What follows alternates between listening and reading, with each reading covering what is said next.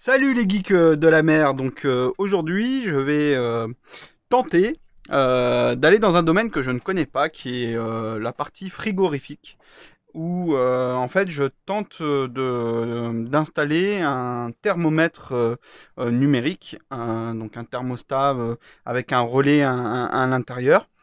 puisque actuellement sur mon voilier, donc un Kyrie 1040, euh, euh, j'ai un compresseur de froid J'ai une petite glacière euh, malheureusement qui euh, me pose pas mal de soucis. Entre autres, en fait, le relais se déclenche un peu n'importe comment. Euh, pourtant, j'ai changé le relais, je l'avais mis sur le groupe Facebook Électronique Marine. J'avais déjà posé la question et ça me paraissait vraiment étrange le, fonctionnement du fait que euh, de manière aléatoire, il s'allumait, il s'éteignait, les températures euh, dans le, bac étaient euh, très différentes, euh, étaient vraiment variables. Un coup c'était trop froid, les, aliments étaient gelés, c'était pas assez froid, c'était vraiment bizarre. Là on est en hiver, donc euh, euh, on a une température ambiante autour de 18 euh, degrés à bord, donc je voulais le tester. voilà, ça fait une semaine je suis à bord et et je m'aperçois que c'est pas encore ça. Donc, à l'époque, euh, quand j'ai changé, parce que euh, je pensais vraiment que mon thermostat avait, avait un coup, euh, il était bizarre. Donc, j'ai changé hein, le thermostat, voilà, j'ai pris, j'avais pris ça, voilà, et j'avais fait une petite, une petite note ici, où dès que je le... Donc, ça, c'est simple hein, à fonctionner, c'est quand il est tout en haut, on entend le clic, quand il est tout en haut, il est sur off, et après, on, active le froid. Donc, là, on met un minimum de froid. Euh, et puis plus on descend, plus, il, re- il- il refroidit, le compresseur refroidit jusqu'à euh, euh, se mettre en mode glaciaire en fait, jusqu'à surgeler les, aliments.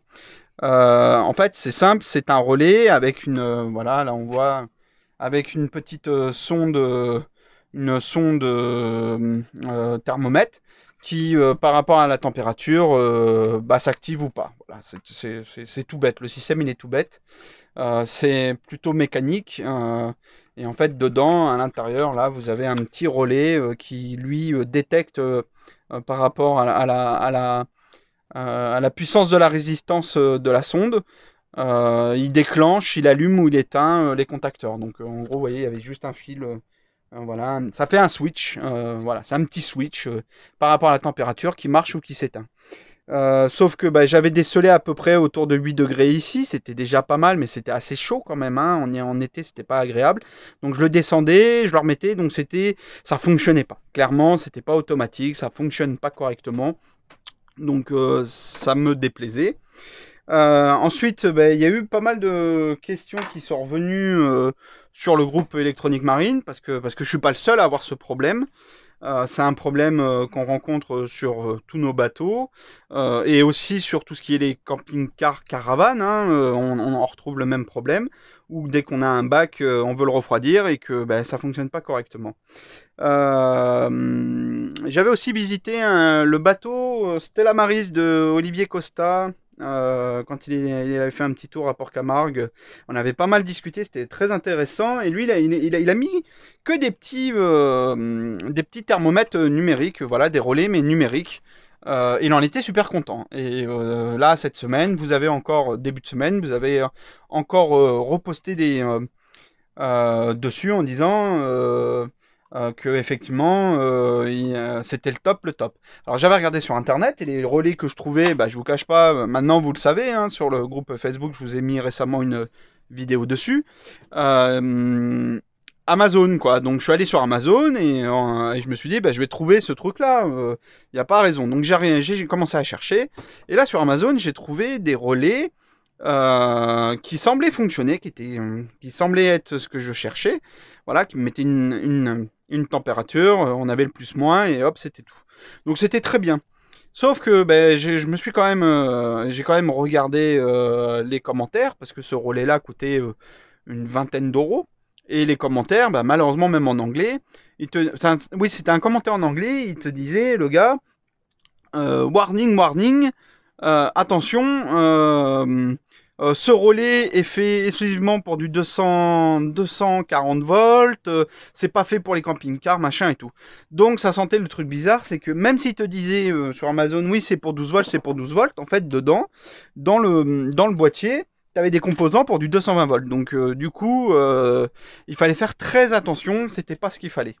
Et, euh, cette semaine, sur un des postes du, groupe électronique marine, et eh ben, il y en a un qui a, posé, qui, a de nouveau soulevé le, chemin de blic, et là, il y a eu des réponses en parlant d'un boîtier extrêmement populaire chez les frigorifistes qui s'appelait ACO. Voilà, un petit thermostat ACO. Donc je me suis empressé de l'acheter. Voilà, enfin empressé. Euh, disons que j'ai regardé sur internet et effectivement, euh, euh, il y a beaucoup beaucoup d'avis positifs sur ce boîtier. c'est pas du tout le même prix puisque là on est autour, faut compter une centaine d'euros. Hein, alors moi je l'ai acheté sur piècefrigo.com, quelque chose comme ça. Vous tapez piècefrigo.com, voilà, c'est ça. vous avez un délai de, de 4-5 jours avec la crise sanitaire en ce moment. Et vous, voilà, j'en ai eu pour 101 euros avec une livraison mondiale relais. Euh, à quoi ça ressemble? Bah, Ça ressemble à ça. Donc du coup, on est sur euh, un afficheur, euh, un afficheur numérique où derrière on a une petite sonde. alors, déjà, la sonde, elle est pas mal, puisque on a sur ce genre de, thermostat mécanique, je dirais, on a une, sonde. En fait, c'est juste un fil, un fil qui récupère la température moyenne de tout le fil. Donc déjà, c'était pas ce que je préférais. Là, on a vraiment une sonde au bout avec une vraie résistance. Un truc, même euh, à la main, on sent que c'est du bon produit. Voilà la petite sonde. Hop, je la mets. Voilà, vous voyez, c'est une petite sonde classique. Donc ça, ça me plaît bien.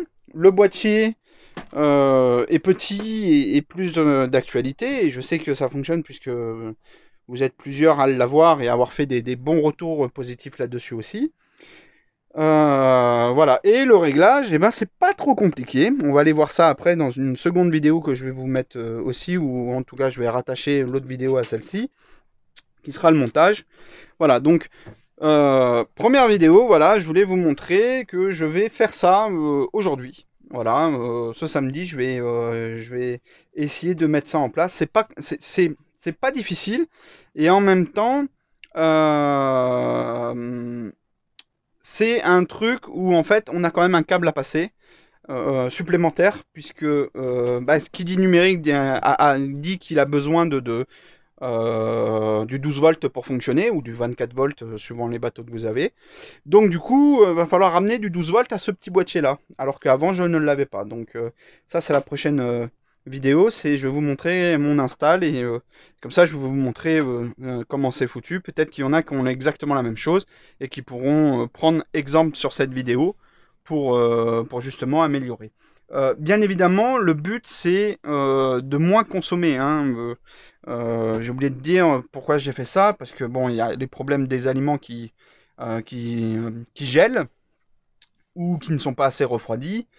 Euh, mais au-delà de ça, c'est euh, un gain de consommation euh, vraiment significatif.